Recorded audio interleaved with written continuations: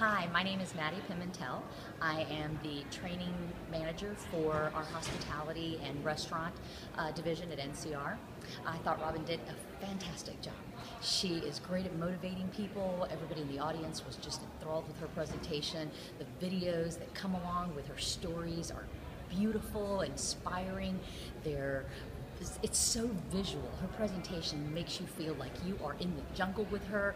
You are enjoying this. You are going to finish and use your team power to make it happen. So I'm going to take a lot of the things that I learned from her and uh, use them to motivate, inspire my sales team, and hopefully have an amazing 2015 at NCR.